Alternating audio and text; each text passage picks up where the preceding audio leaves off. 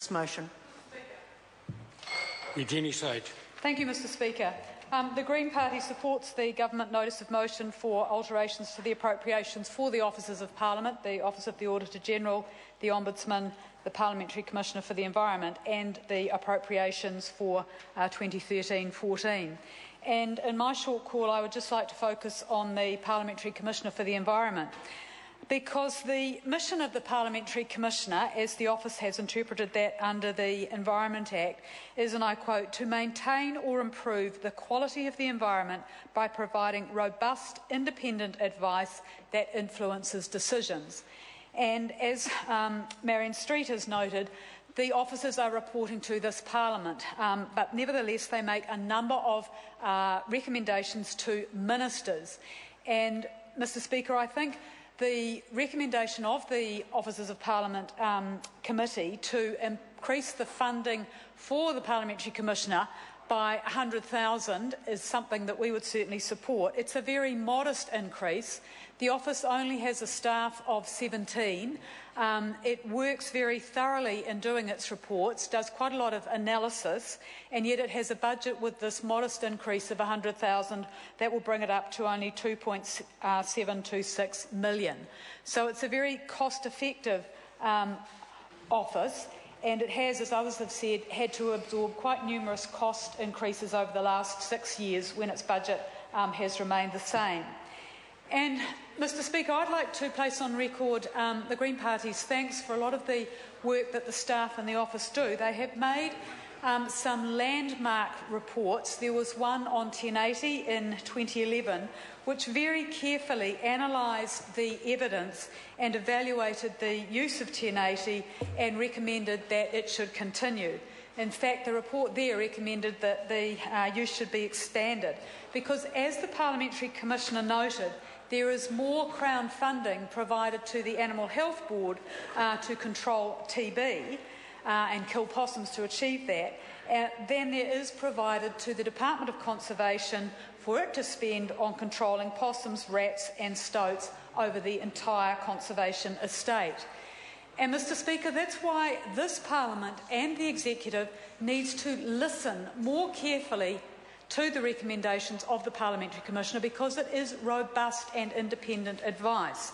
And yet we haven't seen an increase in Department of Conservation funding to enable it to do better pest control. Instead, that funding's been cut. There have been a number of other landmark reports by the office. One of those was on wild rivers or hydroelectricity in May last year. And there, the office recommended that there should be uh, much more proactive work done to protect rivers for their wild and scenic values, that water conservation orders should be strengthened. Yet we haven't seen that in the government's proposals for water reform. We have seen the opposite, a weakening of water conservation orders.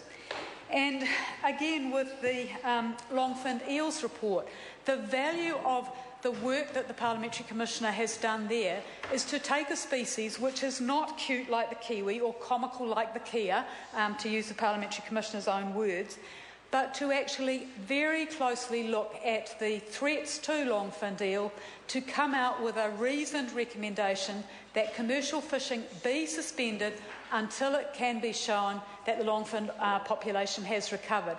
Government needs to take that recommendation uh, seriously. And, Mr Speaker, the recommendations of the office are sometimes not popular because, as the mission statement um, notes, it's about providing robust and independent advice. So, as a member of the Local Government and Environment Select Committee, I'd like to record my thanks when the office makes submissions on legislation, as it has done on changes to the Resource Management Act, and as it has done on the government's um, discussion document on the Act.